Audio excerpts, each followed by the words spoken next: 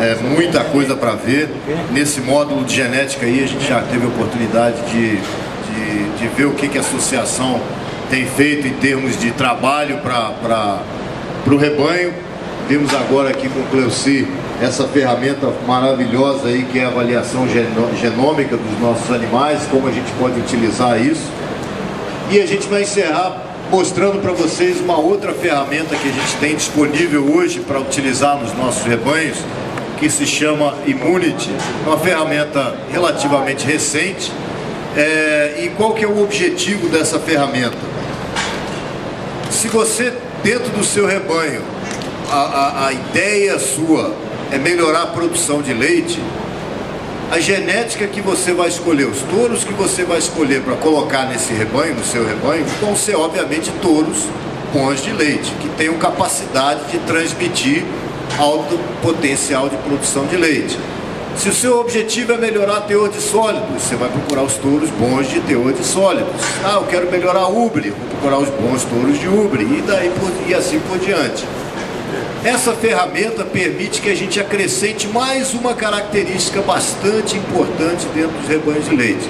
Se eu quiser melhorar a resistência das minhas vacas às doenças mais comuns que acontecem dentro dos rebanhos. Se eu quiser melhorar minha, o meu rebanho em termos de melhor resistência a mastite, metrite, problema de casco, retenção de placenta, cetose, que ferramenta que eu posso usar? Essa é a ferramenta que a gente pode usar, chama-se Immunity, eu vou passar para vocês de onde vem essa ferramenta, como que ela foi é, é, desenhada e, obviamente, resultados práticos que a gente já tem com essa ferramenta aí. Pode passar isso aí.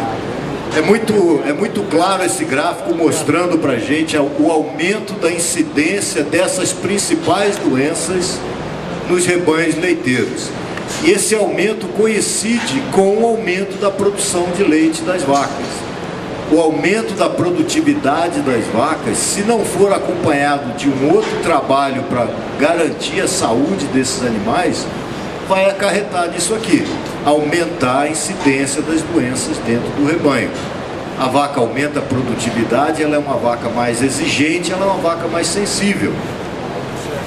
Eu, como melhorista, jamais vou chegar para um grupo tão seleto como esse que está aqui e falar para vocês que para melhorar a saúde de vaca, vamos diminuir a produção de leite delas. Isso não existe, né? Isso é pioramento genético. Hoje nós temos como aumentar a produção de leite das nossas vacas, aumentar a produtividade das vacas e melhorar a resistência desses animais a essas principais doenças aqui. Essa pesquisadora, chama Bonnie Mallard, ela é chefe do departamento de patologia da Universidade de Guelph, no Canadá, e ela passou 22 anos da vida dela pesquisando esse assunto que a gente chama de imunogenética. 22 anos da vida dela foi pesquisando qual que é o impacto da genética na imunidade das nossas vacas. A genética influencia se a vaca vai ser mais resistente ou menos resistente? Se influencia, em que grau que essa influência tem dentro do rebanho. Como que eu identifico as vacas que têm alta imunidade e as vacas que têm baixa imunidade? Esse é um trabalho de 22 anos de pesquisa dessa professora de patologia da Universidade de Guelph. Pode passar mais um?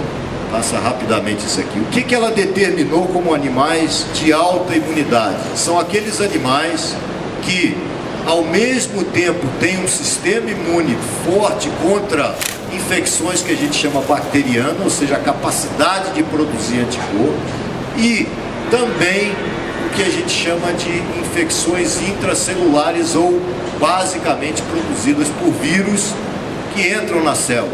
Então, para ela, animais de alta resposta imune eram aqueles animais que tinham tanto a capacidade de, de, de, de produção de anticorpos quanto a capacidade de defesa a vírus bastante elevada.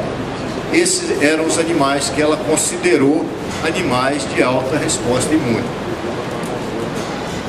Pode passar mais um aí, por favor. Dentro da pesquisa dela, ela determinou que essa característica de imunidade, de resposta imune, tem uma herdabilidade de 30%. O que, é essa herdabilidade? Quanto mais alta for a herdabilidade de uma característica, mais fácil você consegue corrigir essa característica através da genética, ok? Se eu pego, por exemplo, características de estatura ou profundidade, características de corpo, elas são características de alta herdabilidade, 42, 45, algumas 40. Essas características, se eu tenho um rebanho de vacas muito grandes, muito altas, e eu quero diminuir o tamanho das minhas vacas, eu consigo além das ferramentas de manejo, eu consigo com a genética, selecionando touros de estatura mais baixa, diminuir o tamanho do meu rebanho em poucas gerações, porque a herdabilidade é alta. Se no meu rebanho eu tenho um problema sério de casco, casco baixo, talão ruim, eu demoro muitas e muitas e muitas gerações para corrigir esse problema geneticamente, porque a herdabilidade de ângulo de casco é muito mais baixa do que a de estatura, gira em torno de 7 a 8%. Essa característica de imunidade tem uma herdabilidade de 30%, é extremamente alta. Então é muito viável selecionar geneticamente para essa característica. Vamos ver o que é a diferença de animais de alta resposta imune em relação a animais de baixa resposta imune. Aqui nós já estamos entrando no resultado da pesquisa, das pesquisas efetuadas pela equipe ao longo desses 22 anos. Nessa pesquisa, em 64 rebanhos diferentes, foi constatado que os animais de alta resposta imune mostraram 50% menos de incidência das principais doenças quando comparado aos animais de baixa resposta imune.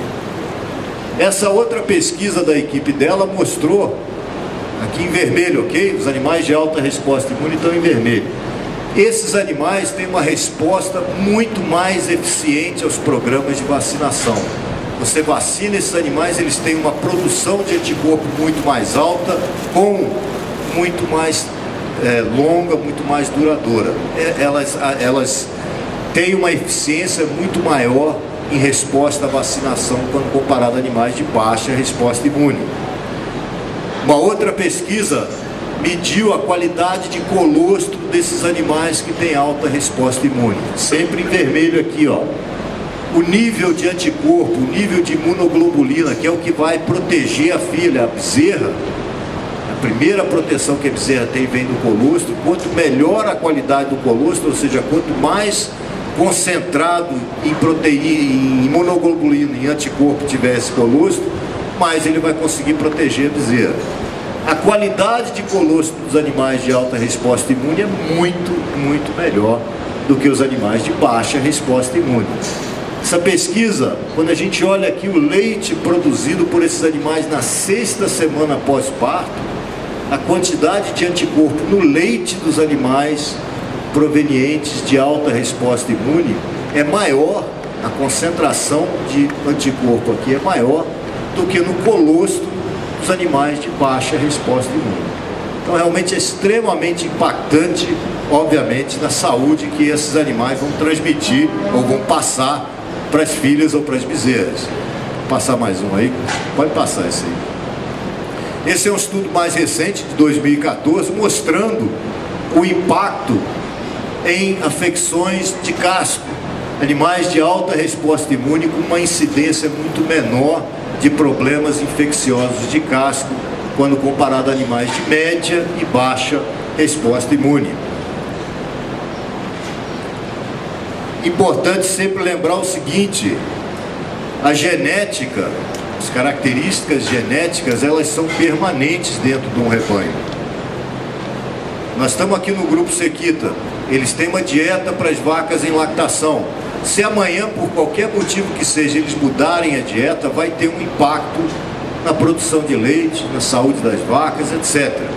Se eles voltarem à dieta normal, de novo, é outro impacto. O manejo, a nutrição, ele vai, ele não é um efeito permanente dentro do rebanho. A genética é. Eu inseminei o animal, eu produzi uma, uma, uma geração em cima de um critério de seleção, aquilo vai ficar para o resto, pra, enquanto aqueles animais estiverem ali se propagando, é, propagando em gerações futuras. Você não perde mais aquilo. Qualquer característica funciona assim. Se você está selecionando para produção de leite, constantemente usando touros altos em produção de leite ou em capacidade de transmissão de leite, você vai aumentando cada vez mais o potencial de produção de leite do seu rebanho. Aqui acontece a mesma coisa. Essa característica de imunidade é exatamente igual a qualquer outra característica. Você trabalhando persistentemente, geração após geração, essa característica, você vai aumentando o potencial de resistência a doenças do seu rebanho. Mostrar uh, um resultado aqui no Brasil, uma fazenda de Castro, que já utiliza touros que a gente chama de immunity, ou seja, aqueles que são identificados como capazes de transmitir essa autoimunidade para as filhas, ele já vem utilizando esses touros há algum tempo. E uh, só para ilustrar um pouco como foi feito esse trabalho, essa fazenda tem uma consultora é, independente que vai na propriedade e mede tudo que vocês possam imaginar. Peso das bezerras quando elas nascem, ganho de peso diário, qualquer medicamento que é feito na bezerra, na vaca, é anotado, é colocado dentro de um, de um programa que ela tem para monitorar todos os passos que estão acontecendo na fazenda. O que nós fizemos foi simplesmente pegar esses dados e dividir ele em dois grupos. Nós pegamos, pode passar aí, por favor, nós pegamos todas as bezerras nascidas nessa fazenda entre junho de 2014 e janeiro de 2016. Foram 305 bezerras nascidas nessa propriedade nesse período.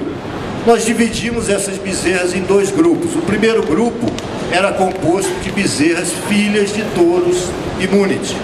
O segundo grupo era composto de bezerras filhas de touros não Immunity. A ideia do trabalho é a gente comparar esses dois grupos e ver o que aconteceu ao longo desse período dela. O primeiro dado que nós pegamos é que as bezerras filhas de touros Immunity desmamaram em média com 6 quilos a mais do que as bezerras filhas de touros não Immunity.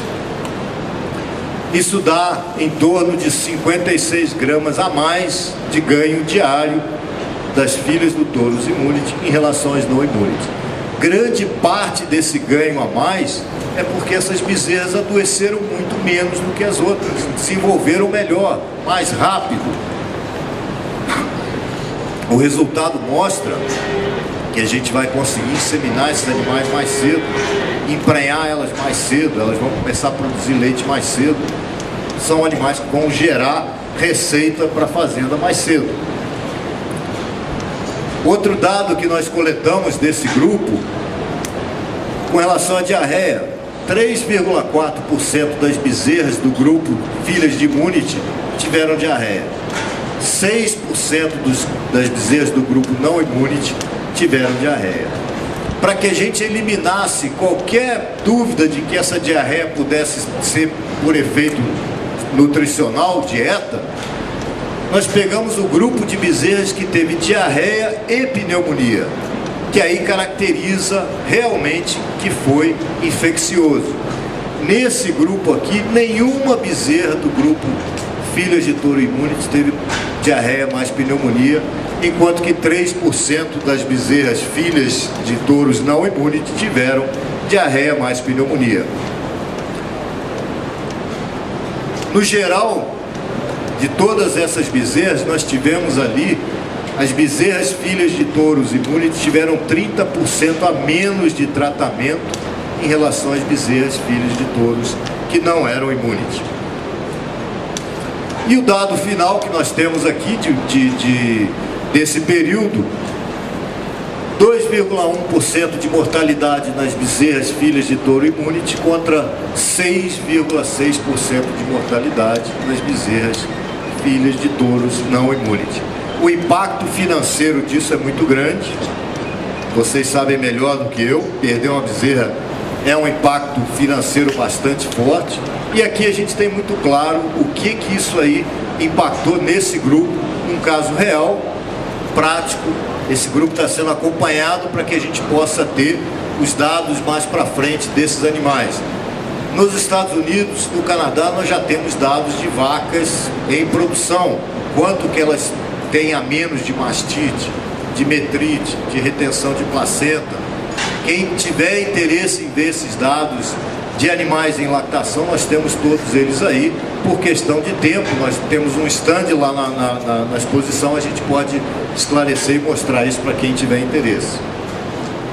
Essa é uma ferramenta real, uma ferramenta genética, ela não é uma ferramenta que engloba características que a gente vai puxando para chegar a um determinado resultado, ela é uma característica genética como produção de leite, teor de gordura, teor de proteína, ângulo de casco, inserção de úbrio, como qualquer outra, é uma, é uma característica extremamente viável de se selecionar geneticamente, porque ela tem uma herdabilidade alta, é uma característica ou é uma ferramenta que não custa nada mais para ser utilizada.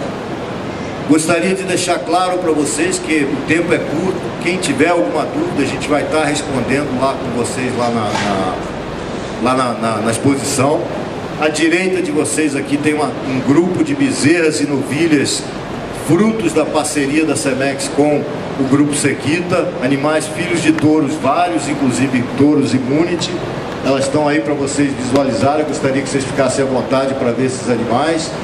Com lembrança de que 1h15 lá no parque de exposição vai ser servido o almoço.